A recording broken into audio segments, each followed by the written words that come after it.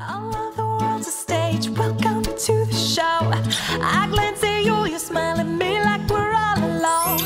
We dance around it, but we'll 嗨， never 佩宝， let 今天我 it 们一起来卸妆。 有发现我今天的妆感左右边不一样吗？这边比较浓妆，然后这边呢就是自然淡妆的部分。主要就是因为很多人会好奇说卸妆水跟卸妆油使用的时机点。那说到卸妆油，我不知道有多少人是喜欢使用卸妆油的。卸妆油呢可以去深层的清洁彩妆的脏污。说到卸妆油，我想大家对于植村秀这个专柜第一的卸妆油一定不陌生。我自己也爱用多年，每一款每一个颜色我都用过。其实令我最惊艳的就是这个绿罐。我第一次使用的时候是他们给我一小瓶的试用包，然后那个试用罐的部分，我去旅行用，然后用完之后就发现，哎，我的鼻头粉刺好像有浮出来的感觉，然后就在饭店一直挤粉刺。之后呢，我就觉得这一个其实对我来说是可以帮助我深层清洁很明显的一款，我喜欢它，我也一直都会持续使用。当我妆感比较浓的时候，或者是偷懒想要用一瓶就完成卸妆的时候，我就会用它。我通常都是把它放在浴室里面，然后呢，这一瓶长得有一点像是卸妆油的补充罐，但不是。我跟你们说，卸妆油专家竟然推出了卸妆水，这是卸妆水哦，但它跟一般市面上的卸妆水不太一样，它是新产品。我想应该蛮多人会对它感兴趣的，所以今天呢，就好好的跟你们介绍一下。这个呢是植村秀赞助的。那我自己在使用这一瓶卸妆水的时候呢，可以很深刻的感受到它跟市面上的其他卸妆水真的很不一样。它算是结合了保养的概念。一般我们在使用卸妆水的时候，都比较担心说，哎，它会卸不干净，然后还有可能会比较干燥、紧绷感。但是它完全不会，它里面呢还有添加了可以抗暗沉的绿球藻的部分，所以它卸完妆的皮肤，我觉得像是会发光一样，是闪闪亮亮的，完全不紧绷。那当然，那些比较顽固型的防水型彩妆、眼妆，它都可以一起卸除。好，那接下来呢，我就示范一下他们家独家的一个发亮卸妆法。首先呢，使用前一定要摇晃均匀。那卸妆水的用量呢，一定要掌握好。如果你用量太多，流到眼睛里的话，会有不舒服的感觉。最适合的用量呢，就是化妆棉的三分之一就够了。像我通常呢，就是左右手夹住，然后留下中间这一根手指头，倒满中间这一根手指头就够了。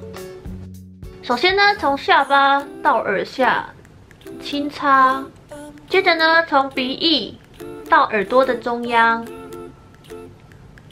然后从眼头到太阳穴，再从额头的中心点到太阳穴，然后接着呢，可以翻面，从眼窝、眼妆的部分，它也可以一起卸除到太阳穴，然后眼窝下方。轻轻的擦，擦到太阳穴，啊，最后唇周也可以一起擦掉。你看，这是它卸完妆的皮肤，哎，这个光泽感跟柔嫩的感觉，真的其实就像是保养完了。所以这一瓶其实是我自己在淡妆或者是用一些呃润色、隔离、防晒的时候，你就是可以只用它。去卸妆不会造成肌肤的一个负担，我觉得还蛮喜欢的。然后它的味道是那种柑橘生姜味，其实是很疗愈的。我们可以去闻闻看这一瓶，我觉得它真的使用起来感受你会觉得是舒服而且是安心的。那它当然就是用量要稍微控制一下，不然流入眼睛的话会比较痛。所以眼妆比较靠近，如果说我有画眼线的话，我就会另外再使用眼唇卸除液，或者是用洁颜油，你可以去卸除眼妆。那另外半边脸呢，就是我当我妆感比较浓的时候，我就会喜欢使用洁颜油，它可以直接一瓶就解决了。那它是第一瓶，就是接睫毛也可以使用的卸妆油。好，洁颜油的正确的用量的话呢，其实全脸要压到底四下。那我现在是只有半脸，所以我压到底两下就可以了。然后呢，就开始全脸画圈按摩。嗯，唇彩轻松不见了。眼妆也可以直接卸，然后把这边的眼线也稍微卸一下。接睫毛也不用担心哦，它完全不会有熏眼的感觉，而且不会就是眼睛雾雾的。好，按摩的差不多之后呢，接着我们就去浴室加水乳化。好，到浴室了。接下来一个步骤呢是双手沾水乳化四次。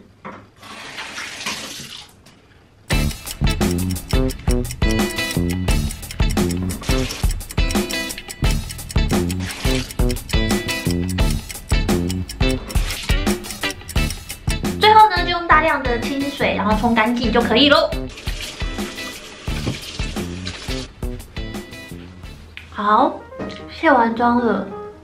我觉得摸起来超干净的，它真的是接睫毛也可以用，我睫毛没有掉半根。然后呢，还有它的那个毛孔的感觉是很清爽的，但就是卸妆油会用到比较多的水，所以我真的就是在洗澡淋浴的时候，把它放在淋浴间卸完脸，然后就直接洗澡了，其实还蛮方便的。那我现在呢，就用卸妆水来检查一下它的卸除能力，给你们看一下，应该是不太需要检查啦，因为卸妆油真的很厉害，它那种睫毛根部。